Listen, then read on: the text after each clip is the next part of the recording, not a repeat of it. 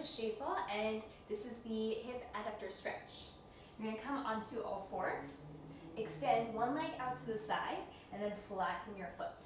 You're going to press the sole of your foot down, and then engage your inner thighs. Think of closing your legs inwards here. Hold the tension with your inner thighs for three counts, and then relax. Each time you relax, should be able to get, get a little bit deeper into your stretch.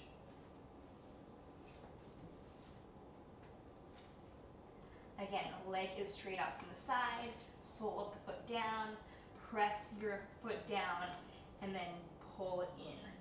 You'll start to engage your abs just a bit tighter. Hold three counts and relax.